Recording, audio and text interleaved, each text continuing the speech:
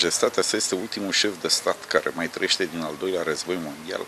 Este mareșal al României, adică cel mai înalt rang militar, grad militar din armata română și să auzi că starea sa de sănătate s-a degradat, te, cum să spun, îți provoacă o durere, pentru că este un simbol al României, este un simbol al acelei Românii frumoase, acelei Românii democratice, al acelei Românii în care s-a trăit bine, în care a existat prosperitate și în care nu spun că n-au existat lupte politice, că existau și atunci și multe, dar exista un factor de echilibru, regele. Să rămânem fără rege este ca să, și cum rămânem fără o parte din România. Este extrem de trist și nu aș vrea să se întâmple asta.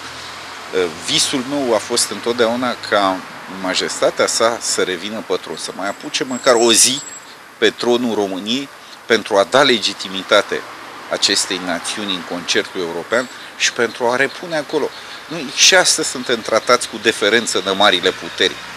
Nu cred că și-ar permite, în condițiile în care majestatea s-ar reveni pe tron și ar regla și problema dinastică, uh, să mai facă cineva uh, o astfel de aroganțe inutile și prostești cu România. Fără activitatea desfășurată de regele Mihai la conducerea țării, evoluția în istoria României ar fi fost alta. Ultima noastră Constituție uh, monarhistă prevedea succesiunea la tron pe principiul legii salice. Conform acestei metode de succesiune la tron, cel care ar urma este un german, bine, ca întreaga noastră dinastie, Carl Friedrich, din, care trăiește undeva în Suabia, de unde provine și dinastia noastră. Acum nu știm dacă el dorește să fie proclamat urmaș la tron, lasă această moștenire pe seama principesei Margareta, lucrurile sunt foarte complicate și singurul care ar putea face asta, bineînțeles, ar fi Parlamentul României, dar și el numai în condițiile în care România ar redeveni monarhie. Pentru că până atunci este greu pentru Parlamentul României să se pronunțe asupra succesiunii în Casa Regală din moment ce țara noastră se zbate într-o republică foarte prost funcțională. Categoric nimeni nu mai poate purta titlul de rege odată cu moartea majestății sale, cum avem de altfel în Franța, în Italia, în Grecia și în alte foste monarhii devenite republici.